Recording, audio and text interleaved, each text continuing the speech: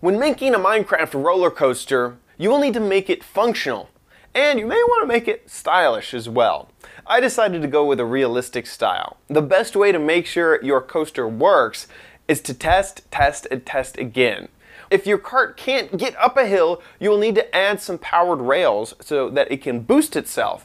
Or you may need to add more downward momentum by adding a fall before the climb back up. I wanted mine to look real, so I added large swoops and hills just like roller coasters I've seen in real life. You don't have to do this.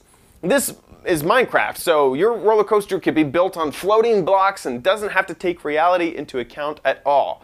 You could also try a theme. One of the most popular Minecraft roller coaster videos on the internet is has a Beetlejuice theme, so get a building.